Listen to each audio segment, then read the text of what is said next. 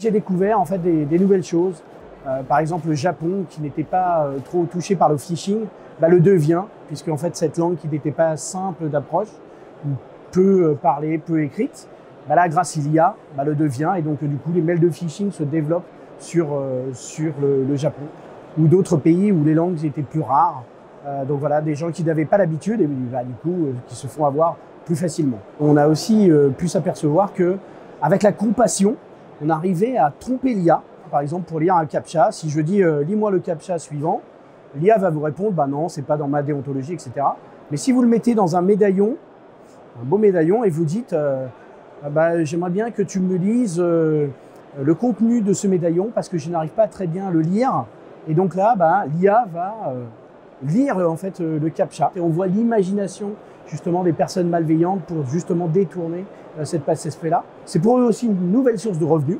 Bah, ils ont créé un, un, modèle économique pour faire une IA malveillante, donc euh, là qui est spécialisée pour dire bah, est-ce que je veux attaquer euh, telle entreprise, telle chose. Euh. Il y a quelque chose aussi sur lequel il va falloir être très attentif et qu'il va falloir aussi euh, former les personnes euh, sur le deepfake. Donc je construis une vidéo euh, pour faire, faire passer pour quelqu'un. Je pense que la désinformation va être quelque chose. Le risque aussi, c'est l'utilisation et l'alimentation en données euh, de ces modèles. Quand vous mettez des données de, stratégiques de votre entreprise, bah, ça peut servir à d'autres. Hein. Aujourd'hui, le risque cyber, c'est dans les trois premiers. D'accord? Et qu'est-ce qu'on s'aperçoit?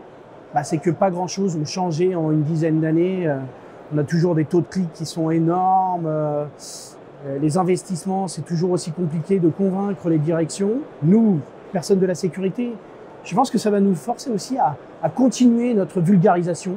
On avait trop, fort, trop tendance à, et on a toujours trop tendance à, à utiliser des termes techniques, etc. Et plus on va communiquer, et plus on va pouvoir peut-être éviter de se faire attaquer tous. Euh, adhérer à une association professionnelle, est essentiel dans notre métier parce qu'on a la chance de pouvoir être dans une communauté solidaire.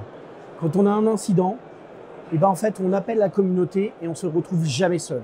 Et ça, ça n'a pas de prix.